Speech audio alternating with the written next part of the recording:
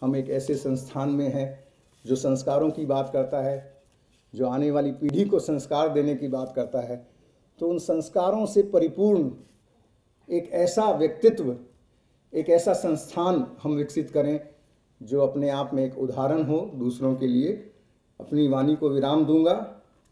सिर्फ़ इतना कहकर, लाख दलदल हो पाँव जमाए रखिए। ये सब उनके लिए संदेश है। जो कभी कभी घबरा जाते हैं, डर जाते हैं, सोचते हैं, पता नहीं फिर कौन सी विपदा आएगी। विपदाओं से, बाधाओं से जूझना आपको और सशक्त बनाता है। लाख दलदल हो पाँव जमाए रखिए, हाथ खाली ही सही ऊपर उठाए रखिए।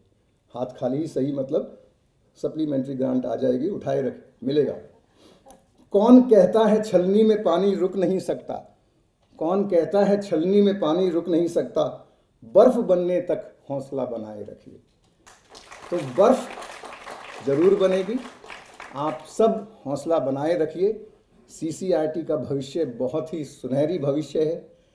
एक ऐसी विरासत हमारी जो प्रेजेंट पीढ़ी है, वो सौंप कर आपको जा रही है, जो आपको नहीं, केवल आप तक ही नहीं, आने वाली पीढ़ियों को भी एक गर्व का एहसास देगी।